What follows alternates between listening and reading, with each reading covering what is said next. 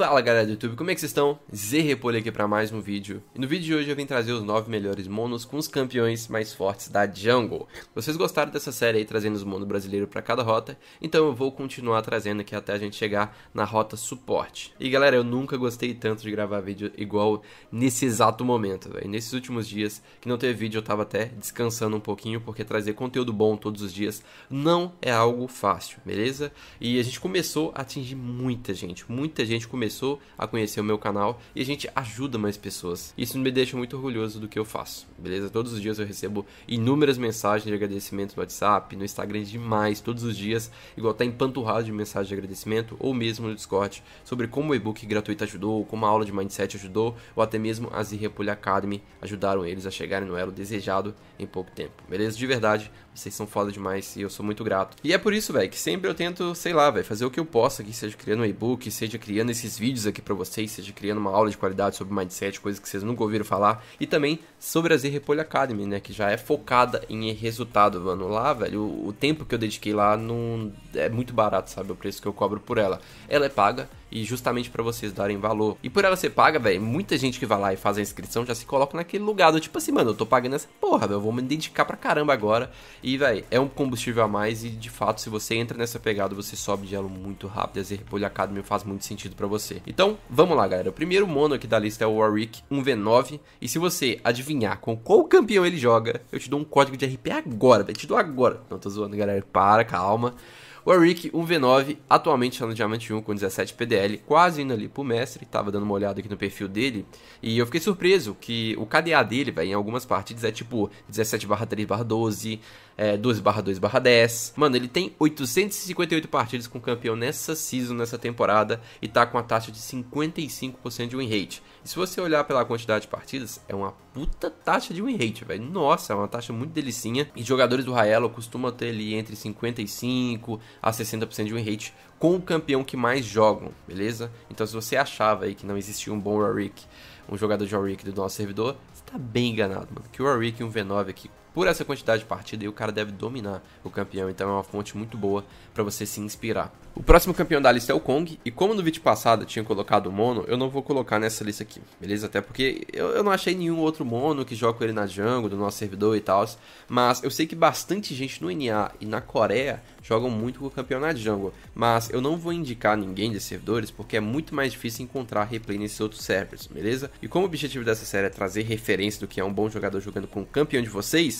eu não vejo sentido, beleza? Mas caso você queira, você pode pesquisar no YouTube aí, vai te jogar um mono, sabe? Não vai ser um mono mono, às vezes é um main, mas vai ter algo de referência para você dar uma olhada. E galera, eu tô até pensando em criar uma aula sobre como estudar o jogo e a diferença de elos. Se vocês tiverem interesse, deixa aqui nos comentários para me saber se vale a pena eu criar.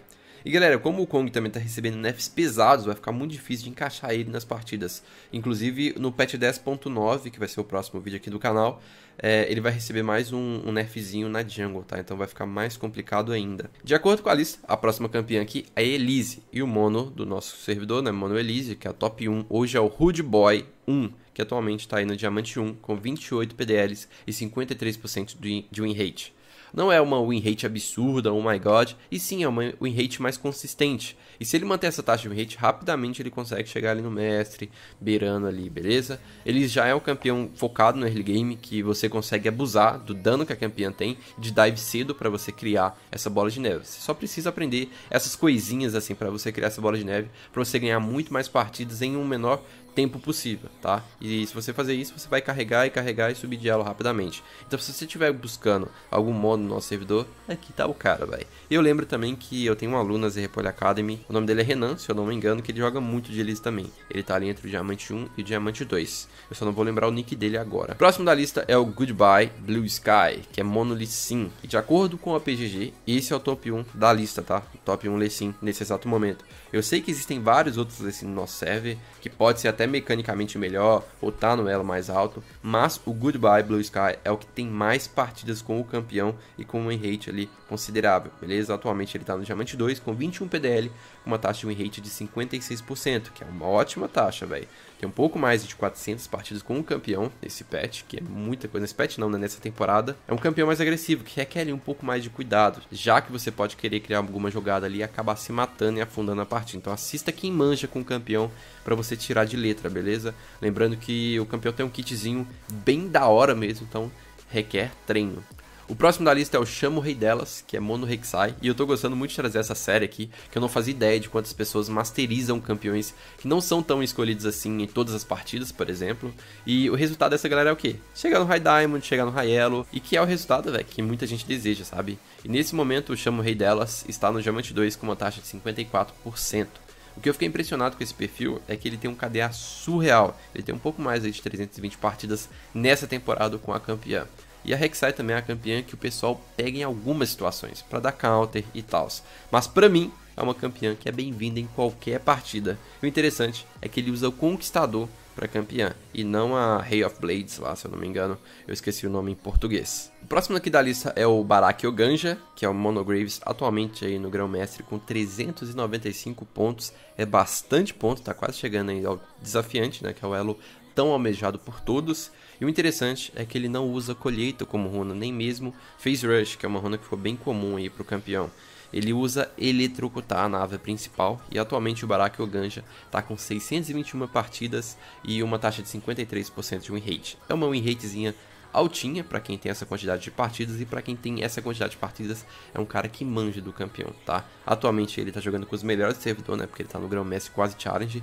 E se você aí queria uma inspiração de alguém que joga muito bem de Graves, aqui está. E lembrando, galera, que todo mundo, velho, tem seus dias ruins, tá? Não acho que todo mundo é perfeito, que vão jogar 100% todas as partidas, tá? Todo mundo que você for olhar nessa lista aqui tem uma partida que vai estar tá, é, 3-11, 3-8, sabe? Então é, é, comum, galera. É normal. Próximo da lista é Young X Wrist, que é Monocartus, atualmente top 1 Cartus BR, né? Tá com uma conta no mestre com uma taxa de 57% de win rate, um pouco mais de 280 partidas com o campeão, não é uma quantidade muito grande de partidas para ter essa win rate, tá? Mas ainda assim é um puta mérito. Interessante também que o Jung X-Rich, alguns pets atrás, estava no grão mestre, então pode ser que ele não jogue com tanta frequência assim e acabou caindo por inatividade. O ruim de você pegar mestre ou mestre desafiante é que o tempo de inatividade é muito menor, tá? Não é de 30 dias não. Então para se manter no Raelo, você tá sempre jogando ali, tá? Eu lembro quando eu cheguei lá no Gromestre, barra desafiante, é, você tinha tem 10 dias, se não me engano, pra jogar. E às vezes você viajava, assim, você voltava, você não tava afim de jogar, você acabava caindo.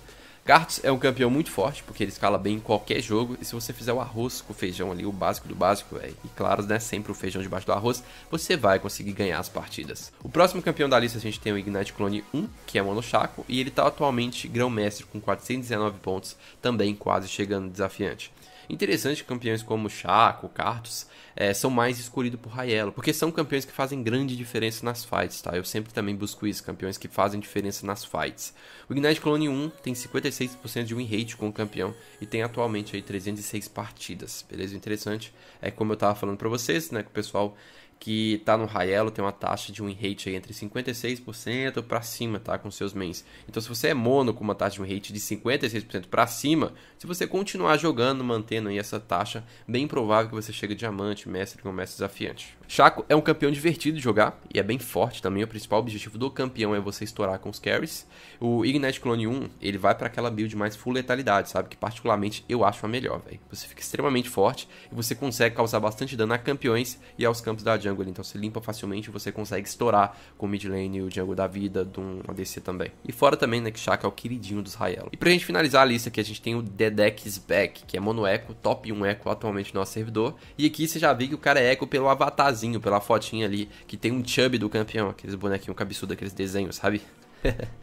é muito da hora esses desenhos, eu curtia fazer. Atualmente ele tá mestre aí com 74 PDLs, tem uma taxa de 52% de win rate, que não é uma taxa uou, mas é uma taxa boa. O que eu achei interessante aqui é que o KDA, velho, tá bem acima da média, tá? O KDA dele tá muito bom. E o Dedex Back tem um pouco mais de 580 partidas com o campeão, velho. É bastante partida, é muita partida. Então, com certeza, o Dedek tem domínio sobre o campeão, beleza? E trazendo essa lista aqui, velho, pra vocês, eu fico motivadão, velho, para aparecer nela um dia. Eu fico assim, não, velho, você vai eu vou treinar pra aparecer aí um dia.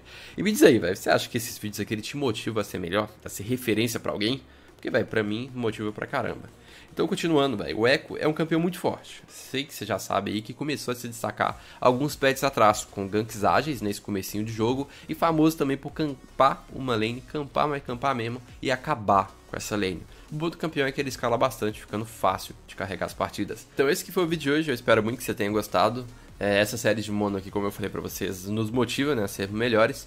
Então, se tá difícil, velho, só não desiste, não tá difícil só pra você, e sim pra todo mundo. E se tivesse fácil, se fosse fácil, qualquer pessoa teria esse destaque, né, conseguiria chegar onde quer chegar. E eu vejo várias pessoas, velho, que querem chegar nos elos mais altos, querem ser streamers, querem serem youtubers, fazer bastante vídeo pro, pro YouTube, ou até mesmo serem pro players profissionais, mas não estão dispostos a pagarem o preço, beleza? E alguns não fazem ideia nem do que, que tem que fazer para melhorar melhorar no jogo, não sabem como estudar e tal, e por isso eu criei a Zerrepolho Academy para ser um passo a passo e para as pessoas terem direcionamento para subirem de elo rapidamente. E as pessoas também pagarem o preço literalmente, beleza? Eu também penso em criar uma aula aí como estudar o jogo e serem bons autodidata, sabe? E se você tiver gostado desse vídeo, deixa aquele like, sempre fortalece. Se inscreve no canal e ativa o sininho de notificações para você não perder nada aqui no canal. E é isso, e eu te vejo no próximo vídeo.